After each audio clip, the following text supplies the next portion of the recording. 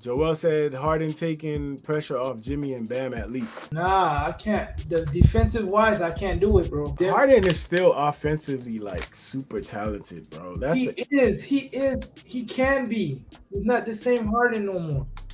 in what capacity as far as scoring, but like facilitating, I think he still does pretty well.